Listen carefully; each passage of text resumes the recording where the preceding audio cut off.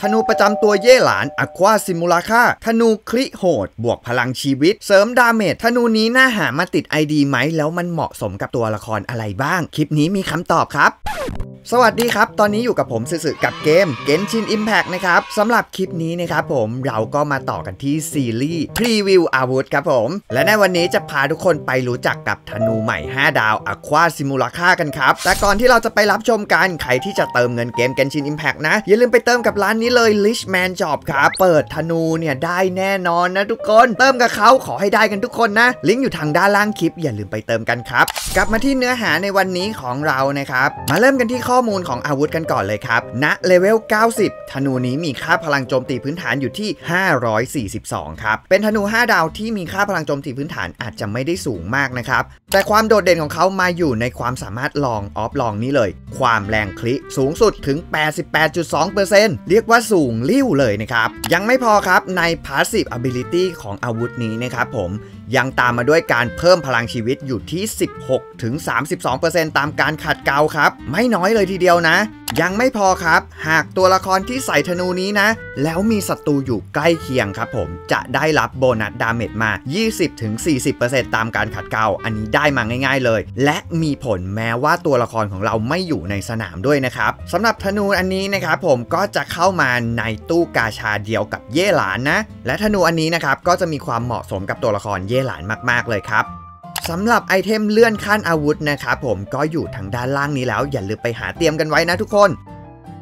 ถัดมาครับมาที่หัวข้อที่ 2 ความโดดเด่นของอาวุธนี้ครับอันดับแรกเลยนะ เจ้าธนูอันนี้ครับมีค่าพลังโจมตีพื้นฐานที่อยู่ในระดับแบบพอใช้ครับผม อาจจะสู้ธนู 5 ดาวอันอื่น ๆ ไม่ได้นะครับผมแต่ถ้าเกิดว่าเทียบกับธนู 4 ดาวหลาย ๆ อันแล้วก็ยังถือว่าพอใช้งานได้ครับ ถัดมาครับความแรงคิครับผมสำหรับค่านี้เรียกว่าสูงลิ่วเลยนะครับผม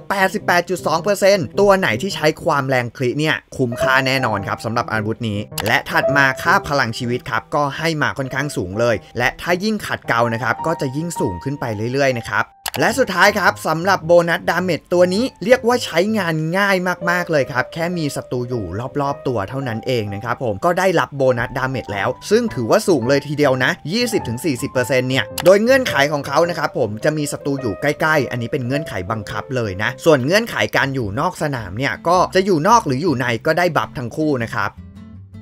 เห็นความโดดเด่นของธนูกันไปแล้วนะครับผม เรามาต่อกันที่หัวข้อถัดมา หัวข้อที่ 3 กับตัวละครที่เหมาะสมกับการใช้ธนูนี้นะครับ มาเริ่มกันที่ตัวละคร damage หลักครับ กับพี่ชายทาร์ทาเกลีย และโยอิมิยะครับสำหรับพี่ชายนะครับผมก็ขอหักไป 2 ดาวเลยกับเรื่องของค่าพลังชีวิตที่ไม่ได้ใช้ และเรื่องของ buff โบนัส damage นอกสนามเนี่ยก็ไม่ได้ใช้เช่นกันครับ ส่วนโยอิมิยะนะครับยังมีเรื่องของ skill ulti ที่มีการทำ damage อย่างต่อเนื่องนอกสนามครับ ถัดมามาดูตัวละคร damage รองกันบ้างครับ ตัวแรกเลยนะ ขอขึ้นด้วยตัวละครอย่างเย่หลานเลยครับ เรียกว่าธนูนี้นะครับ ไม่ว่าจะเป็นความสามารถไหนก็ตามของธนูเนี่ย เหมาะสมทุกประการกับตัวละครเย่หลานเลยครับ เพราะฉะนั้นธนูนี้ 5 ดาวเต็มครับ พลังโจมตีพื้นฐานที่บอกว่าน้อยเนี่ย เย่หลานไม่ใช้ครับ เพราะว่าตัวละครเย่หลานเอง การคำนวณ damage ของเขามาจากเลือดล้วนครับ ตัวของค่าพลังโจมตีเนี่ยไม่มีผลเลยครับ ถัดมาครับกับตัวละครกานยูเวนติแล้วก็ฟิชนะครับผมสำหรับ 3 ตัวนี้นะ ก็ยังถือว่าเป็นตัวละคร damage รอง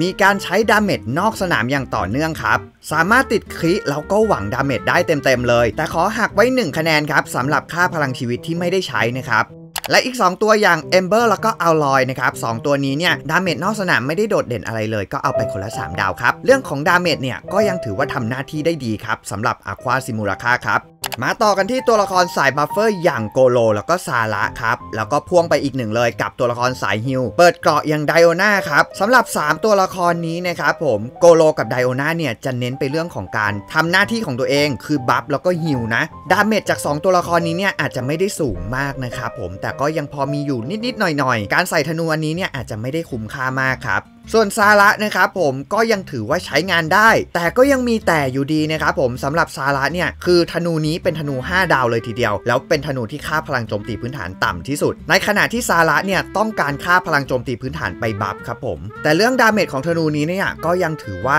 ใช้ได้ดีครับ ดังนั้นก็เลยขอให้ไว้ที่ 3 คะแนนครับสำหรับซาระ เห็นข้อมูลทั้งหมดไปเรียบร้อยแล้ว เรามาดูภาพรวมของธนูนี้กันสักหน่อยดีกว่าเนาะดาเมจของธนูนี้นะครับผมผมขอให้ไว้ที่ 4.5 คะแนนครับ ขอหักนิดนึงในเรื่องของค่าพลังโจมตีพื้นฐานนะ แต่ก็หักได้ไม่เยอะหรอกเพราะว่าความแรงคลิกเขาก็สูงเช่นกันครับ ส่วนเงื่อนไขในการใช้นะครับเรียกว่าใช้งานง่ายมากๆเลย เพราะว่ามันบวกเลยทันทีครับผมไม่ต้องไปทำเงื่อนไขอะไรเลยใช้ง่ายมากๆ เอาไปเลย 5 คะแนนเต็มครับส่วนเรื่องของความครอบคลุมตัวละครนะ ถ้าเมื่อไหร่ก็ตามที่เรามองหาธนู damage เนี่ย นี่ก็เป็นหนึ่งในธนูตัวเลือกที่ดีครับ อาจจะไม่สุดมาก แต่ก็ใช้งานได้ดี ครอบคลุมหลายตัวละครครับ ให้ไว้ที่ 4 คะแนน ดังนั้นคะแนนรวมนะครับผมขอให้ธนูนี้ไว้ที่ 4.5 คะแนนครับ สำหรับธนูนี้เนี่ยผมว่าก็เป็นหนึ่งในธนูที่อยู่ในระดับแบบดีแบบมากมากมากมากสำหรับตัวละครเย่หลานนะครับผมใส่แล้วมั่นใจได้เลยว่า damage ก้าวกระโดดแน่นอนครับ แต่สำหรับตัวละครอื่นๆเนี่ยก็ไม่ถึงกับแย่นะครับ ยังเป็นธนูที่ทำ damage ได้ดี ดีแบบดีเลยครับผม ไหนใครเล็งธนูนี้กันไว้บ้างครับผมยกมือหน่อยเร็ว นั่นก็เป็นทั้งหมดของคลิปข้อมูลธนู Aqua Simulacra ที่ผมเอามาฝากกันในคลิปนี้นะครับ ในคลิปถัดไปเนี่ยก็จะเป็นธนูแจกฟรีอย่าง Fading Twilight แล้วนะทุกคน เหมาะกับตัวละครอะไรบ้างนะถ้าไม่อยากพลาดแล้วก็อย่าลืมกดไลค์กด Subscribe แล้วก็กดสั่นกระดิ่งให้กันนะครับ สั่นกระดิ่งเพื่ออัปเดตคลิปก่อนใครสำหรับคลิปนี้ขอขอบคุณ 65,475 s u b สไครเบอร์จากทาง YouTube ครับ ผมสื่อๆก็ขอตัวลาไปแล้วนะ สวัสดีครับ